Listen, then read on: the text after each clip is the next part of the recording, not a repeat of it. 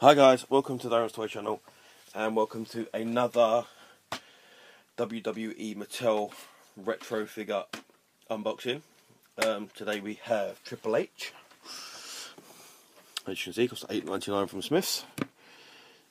The retro logo. And this one has the pedigree, apparently as his authentic superstar move. Other figures in this series was Kane, The Rock, Mankind, Sting, and a Stone Cold Steve Austin. There is apparently a variant where his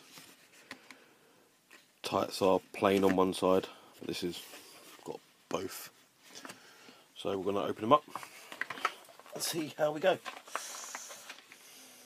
Obviously compare him to the closest Hasbro one, which is Shawn Michaels.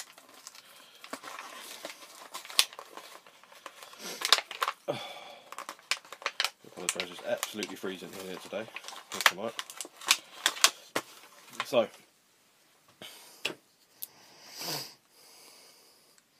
boots feel quite rubbery, which is different because all the rest are plastic. Legs hard plastic. Arms very stiff, but do go all the way around. And obviously you've got the little exactly the same back as the Shawn Michaels rocker. The difference is when you push his, the rockers one down, you get the neck. This one, the whole body goes down, including the head. I'm assuming that means Oh no, we have got some head articulation as well. Let's just grab the mighty one, actually. So, so his whole body head goes down as well, but it's because of put his arm up and his body goes down. So yeah, um, again similar coloration to the other retros, not as glossy or shiny as the original Hasbro's. Um, see how he works.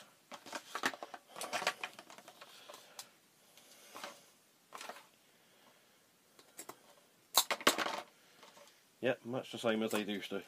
Actually, that's not not a bad spring on that one. Try that again.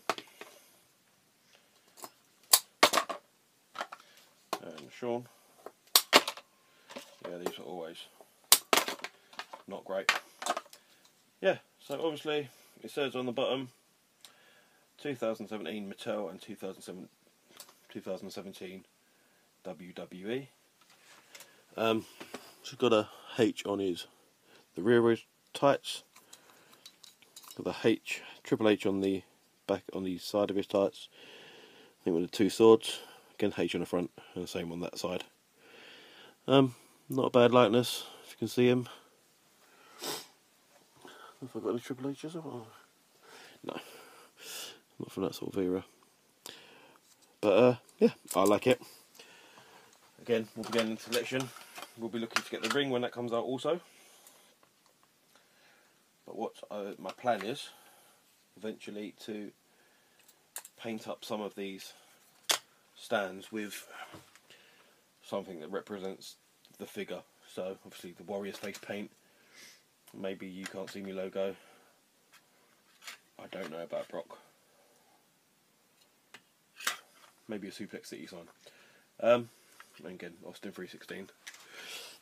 Ordered with custom with customizing with the jacket from a Austin figure. So yeah, um, that's all. I like the figures. I will be collecting more. I will try and get around to unboxing the rest of them in the next coming weeks. Um, thanks for watching. Like, comment, subscribe. Follow me on Instagram at Darren's Toy Channel. Uh, the stuff will be in the link below. Um, also on eBay, also on Snupps, um, which is where I show off some of my collection so far. And I will catch you next time. Thanks for watching. Bye now.